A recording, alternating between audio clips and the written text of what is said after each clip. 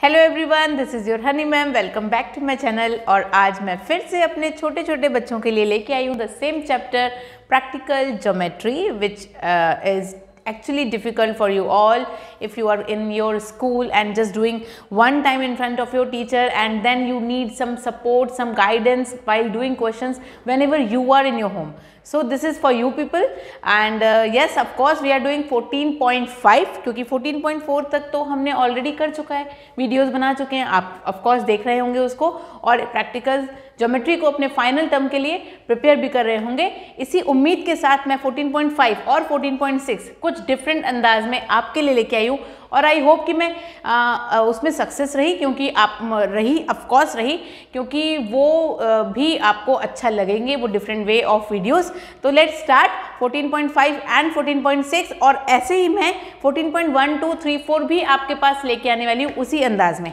तो चलिए फिर स्टार्ट करते हैं बिना किसी देरी के। स्टार्ट करते हैं।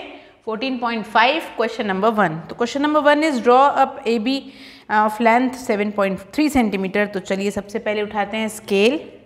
और ये आपका पेन या पेंसिल, आपको तो पेंसिल यूज़ करनी है, ठीक है? और आपको लेनी है क्या लाइन सेगमेंट? 7.3 ये रहा डॉट, ये आपकी होगी 7.3 इसको नेम दे दीजिए ए बी, क्योंकि आपके क्वेश्चन में ही है गिवन। ए बी तो आपको ए बी ही लेना है।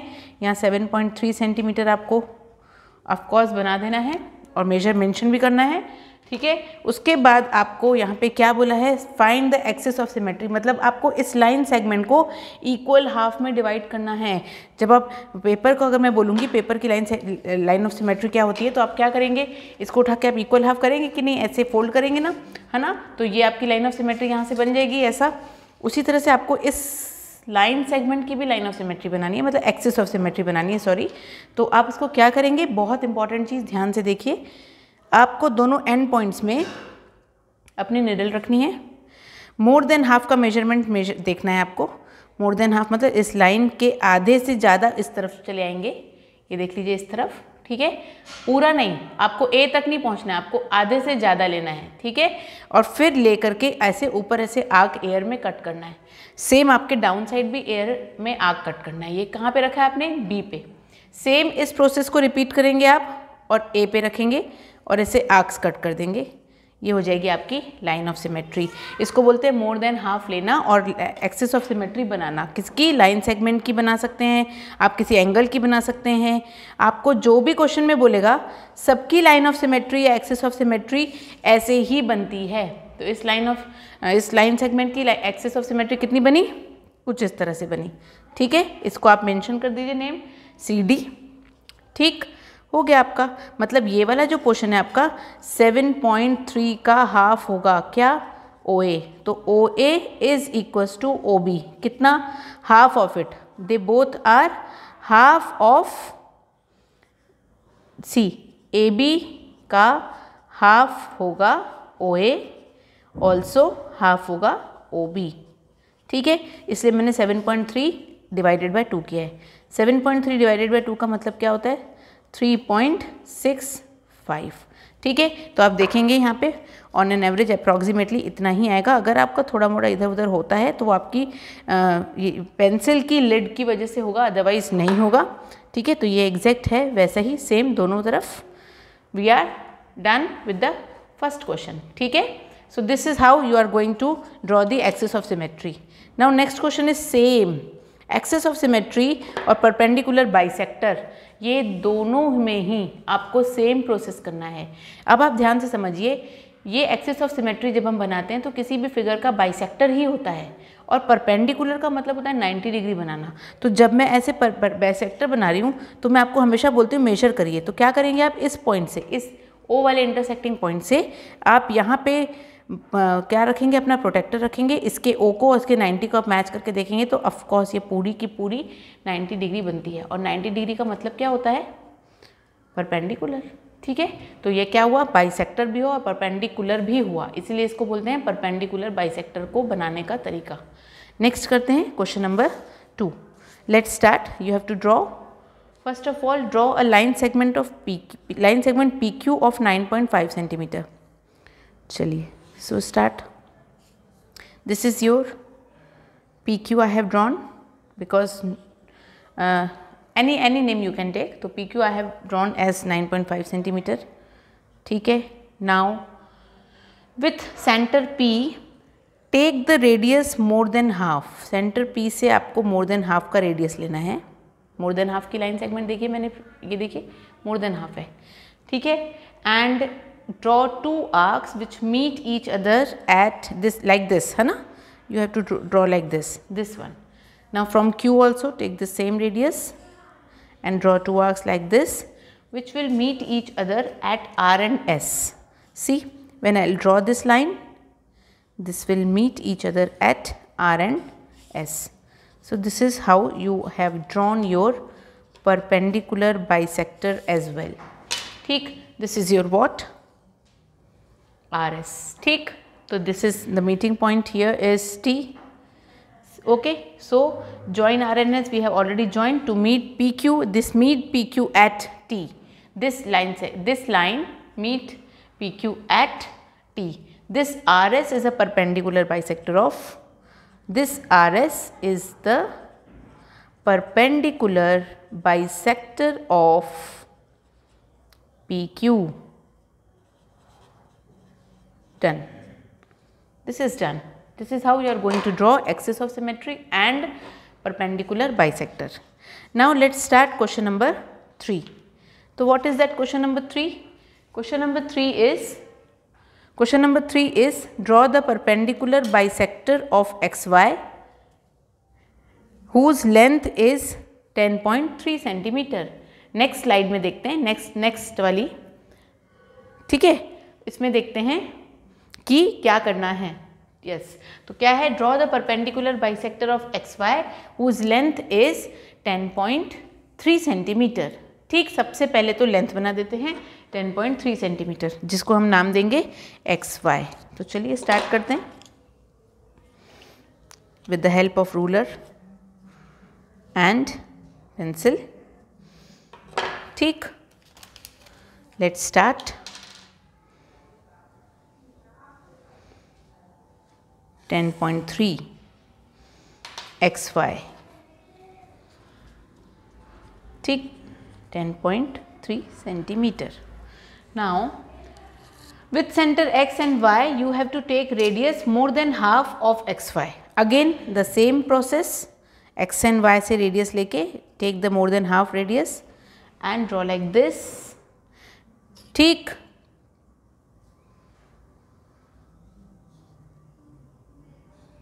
okay this is your more than half wala step the same step which meet each other at u and v. So i am going to give this name u and v theek hai x y u v.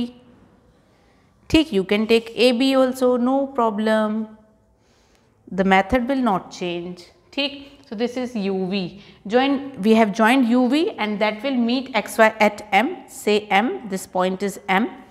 ठीक है? Now you have to take point P on UV.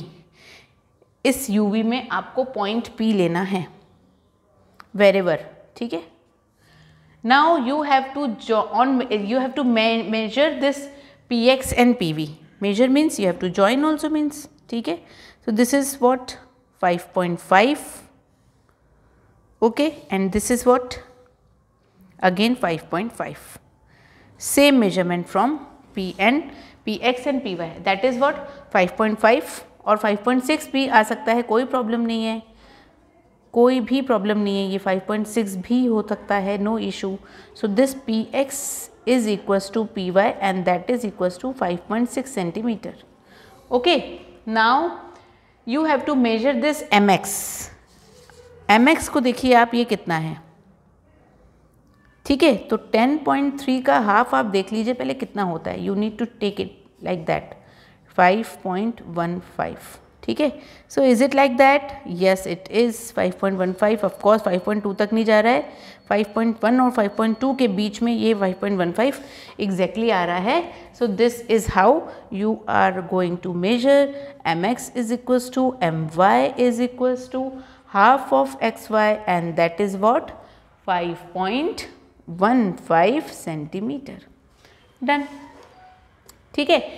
Now next question what is this draw the line segment of length 12.8 centimetre चलिए 12.8 centimetre सबसे easy question है। वो बहुत बढ़िया question है और आपके एग्ज़ाम में डेफिनेटली आने के चांसेस हैं।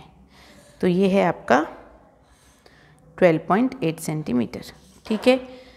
नेम दे देते हैं इसको से A B thick this is your 12.8 centimeter. Okay now you have to take the radius of A and B take more than half radius of it.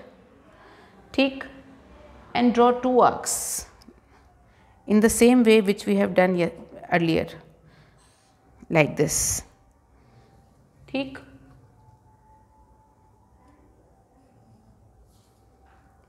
छोटे छोटे आर्क्स भी ले सकते हैं। आप छोटे छोटे बच्चे ना, आप छोटे छोटे आर्क्स ले लीजिए नो प्रॉब्लम ठीक है? So this is your perpendicular bisect अभी आपकी ये लाइन जस्ट एक ही बार डिवाइड हुई है टू इक्वल हाफ्स में। ठीक है? I am giving the name to this line as C D yes C D या D E yes D E I am taking it like that and which may meets A B at C ठीक है? Now this is your what perpendicular bisector of line AB. Now with center A and C, take the radius more than half of A and C, take and draw an arc like this, the same way you did earlier and you have to do for the same type of question because you are actually doing perpendicular bisector wala concept so you will not change any step. See this is the line bisector of AC. Thick, name it as FG which will meet AC at E. Thick, again take BC as mm, center and more than half radius you have to take. Draw two arcs like this and join these two arcs. Name it as Name it as JK. Tick. Naming, it's up to you. Whatever you will take is correct, but you just write down the correct in a correct manner. This will when, when I'll join JK, this will meet BC at L.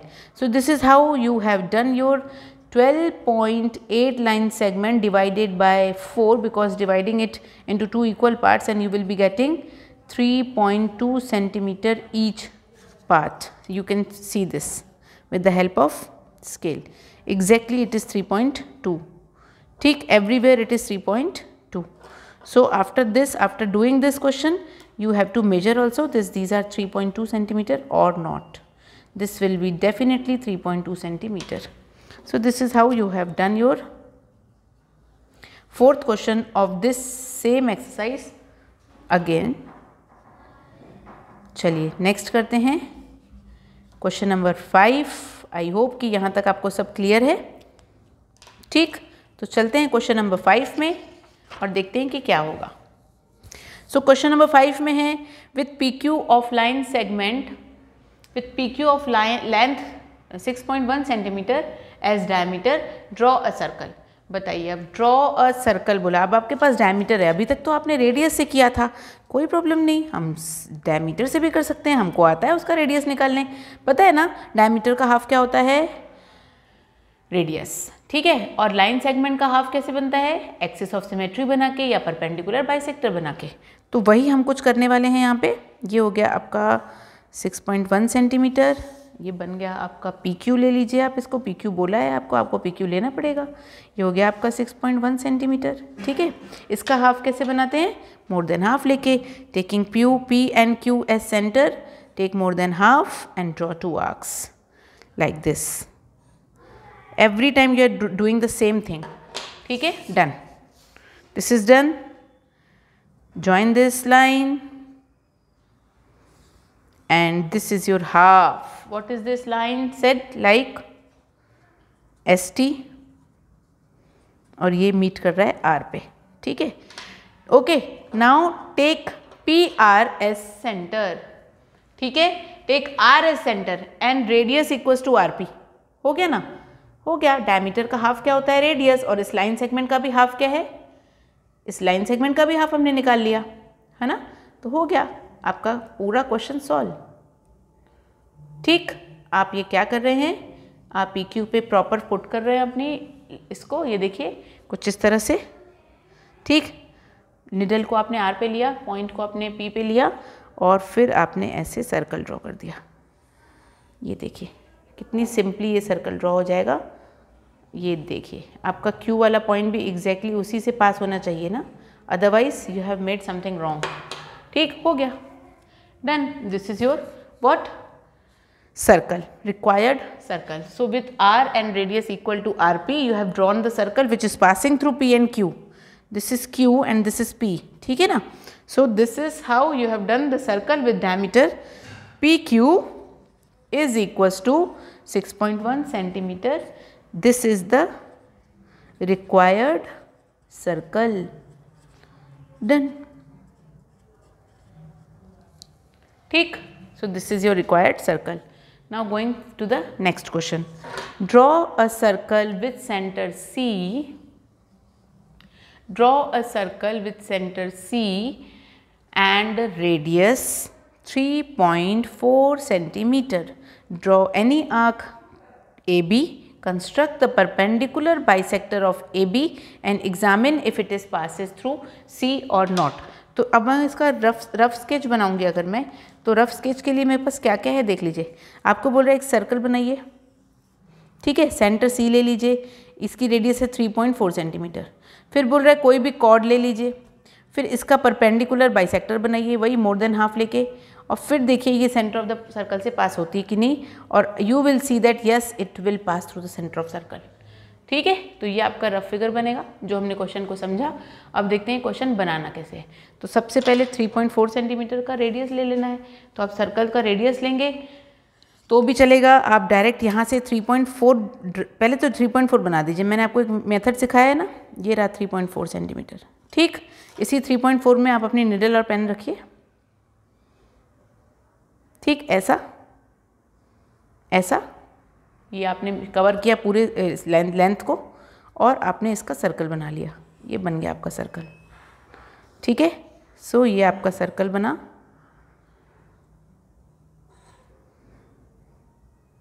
ये इस तरह से circle बना। Perfect circle बन गया आपका। ये आपकी 3.4 सेंटीमीटर है और ये आपका सेंटर सी है। अब आपको कोई भी ड्रॉ करना है कॉर्ड आप नीचे भी ड्रॉ कर सकते हो, ठीक है? ये ज़्यादा बेटर रहेगा आपको एग्जैक्टली exactly बताने के लिए कि ये सेंटर ऑफ़ द सर्कल से पास हो रहा है कि नहीं। So just draw the circle like this ठीक? Draw any circle means you can draw any circle this is A B okay now take the bisector of it take the bisector of it means just take more than half ठीक so this is your more than half taking A and B as radius centre and draw two arcs like this Tick, you have drawn two arcs like this. Join this arc and see this is passing through your center or not. You will see that it is definitely passing through the center of the circle. See, this chord ka bisector is passing through the center of circle. So, this is the perpendicular bisector AB passes through the through the centre C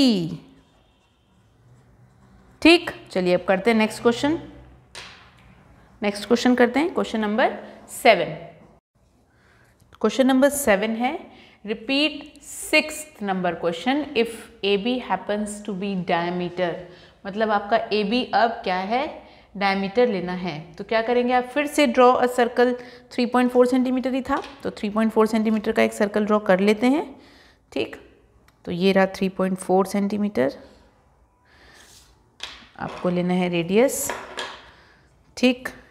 और आपको circle draw कर लेना है। ये देखिए, ऐसे needle और pen को ऐसे फिक्स करेंगे आप पेन उसमें, अपनी लाइन सेगमेंट में 3.4 जो कि है।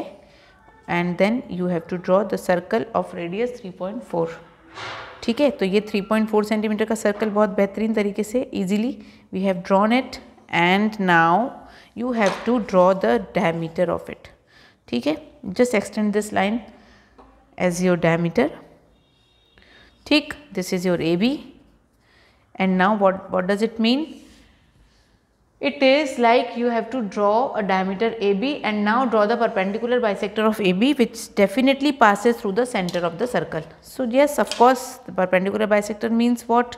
Take more than half.